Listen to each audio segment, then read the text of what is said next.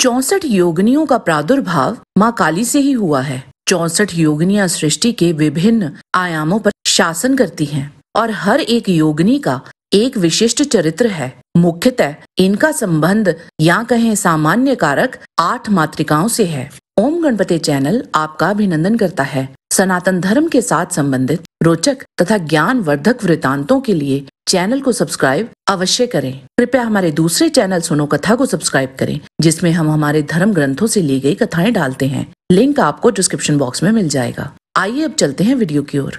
ये सभी आद्या शक्ति काली के ही भिन्न भिन्न अवतारी अंश हैं, और देवी महात्म्य के अनुसार इन आठ देवियों ने शुंभ, निशुंभ और रक्त बीज राक्षसों के विरुद्ध युद्ध में माँ दुर्गा की सहायता की थी, और देवी दुर्गा ने स्वयं मातृकाओं की रचना की थी। इनमें से सात देवी शक्तियों को संबंधित देवों के ही नारित्व रूप माना जाता है। ये सात देवियाँ अपने पतियों के वाहन तथा आयुध के साथ यहाँ उपस्थित होती हैं। आठवीं मातृका स्वयं माँ काली है। हर एक मातृका की सहायक आठ शक्तियाँ हैं। इसीलिए इनकी संख्या चौसठ हो जाती है।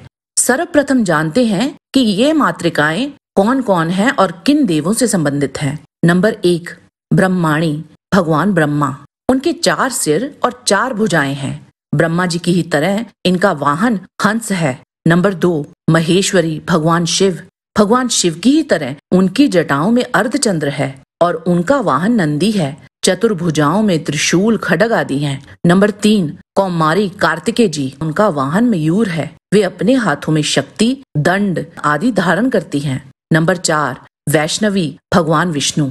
वन माला पहने हुए देवी वैष्णवी के दो हाथों में शंख व चक्र हैं। इनकी सवारी विष्णु जी की ही तरह गरुड़ ही है। नंबर पाँच, ऐन्द्री देवराज इंद्र वे अपने वाहन हाथी पर विराजमान होकर वज्र धारण करती हैं।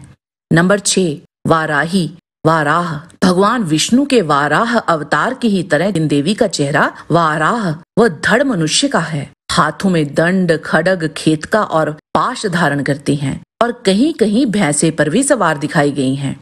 नंबर सात, नारसिंही, भगवान नरसिंह। इनका चेहरा सिंह व धड़ मानव का है और हाथों में शंख, चक्र, त्रिशूल, डमरू आदि धारण करती हैं और अंत में आती है माँ काली, जिन्हें चामुंडा के नाम से भी जानते हैं। एकमात्र वे ही ऐसी मातृका हैं जिन्हें किसी भी देव के स्त्री शक्ति अवतार के रूप में प्रस्तुत नहीं किया जाता।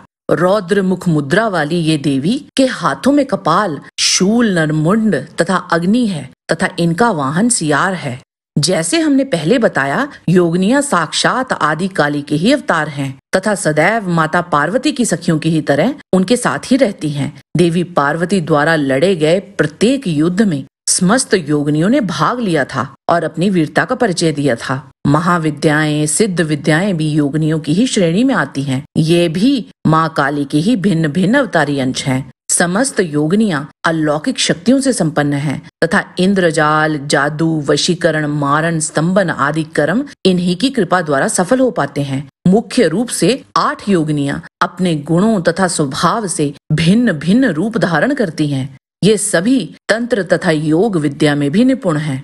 स्कंद पुराण के काशी खंड पूर्वार्ध के अनुसार भगवान शंकर राजा दिवोदास से काशीपुरी प्राप्त करना चाहते थे, परंतु राजा दिवोदास धर्म पूर्वक प्रजा का पालन करते और उनके राज्य में अपराध नाम की कोई चीज़ न थी। भगवान शिव के कहने पर समस्त देवताओं ने उन सर्वत्र शुद्ध राजा के छिद्र अर्थात कोई कमी ढूँढने की बहुत चेष्टा की, किंतु वह असफल रहे। इंद्र आदि देवताओं ने दिवोदास के राज्य तथा शासन को असफल बनाने के लिए अनेक प्रकार के विघ्न उपस्थित किए। किंतु राजा ने अपने तपोबल से उन सब विघ्नों पर विजय पाई। तदंतर मंद्राचल से महादेव जी ने चौसठ योगनियों को राजा के छिद्र देखने के लिए काशी भेजा। उन योगनियों ने विभिन्न रूप धारण कर लिए और अलग अलग वेश धारण कर अलग अलग कार्यों में लग गई। वह योगनिया बारह महीनों तक काशी में रहकर निरंतर चेष्टा करते रहने पर भी राजा का कोई छिद्र अर्थात दोष न पा सकी। परंतु वह सब लौटकर मंद्राचल भी नहीं गई। तब से लेकर आज तक योगनियों ने कभी भी काशी को नहीं छोड़ा। हालाँकि वे तीनों लोकों में घूमती हैं। आगे व्यास जी के पूछने पर स्कंद देव इन योगनियों के बारे में बताते हैं कि यदि कोई मनुष्य इन चौसठ नामों का प्रतिदिन भोर, दोपहर और संध्या के समय जप करे तो उसके भूत प्रेत द्वारा दिए गए सारे कष्ट दूर हो जाते हैं। इनके चौसठ नामों का पाठ करने वाले को ना डाकिनी, शाकनी, कुष्मांड और ना ही कोई अन्य राक्षस कष्ट दे सकता है। यह नाम, युद्ध, वाद, विवाद आदि में भी विजय प्रदान करते हैं। जो योगिनी पीठों की सेवा करता है, उसे वांछित शक्तियाँ प्राप्त होती हैं। और यदि कोई अन्य मंत्रों को भी उनके आसनों के सामने दोहराता है, उसे भी शक्तियाँ प्राप्त होती हैं। यज्ञ, पूजा और प्रसाद तथा धूप और दीपक के समर्पण से योगिनी जल्दी ही प्रसन्न हो जाती हैं और वे सभी इच्छाओं को अवश्य पूर्ण करती हैं। अश्व युज के महीने में शुक्ल पक्ष के पहले चंद्र के दिन से शुरू होकर नौवे दिन तक मनुष्य को योगनियों की पूजा करनी चाहिए। इससे वह जो चाहे प्राप्त कर सकता है। काशी तीर्थ यात्रा करते समय इनकी आराधना भी अवश्य करनी चाहिए। अन्यथा उनके कार्यों में ये विघन डाल सकती हैं। अलग अलग पुराणों में इन चौसठ योगनियों के नामों में थोड़ा अंतर अवश्य मिलता है। वैसे तो भारत में इनके कई पीठ हैं, पर मुख्य पीठ ओडिशा और मध्य प्रदेश में स्थित हैं। जय माँ काली।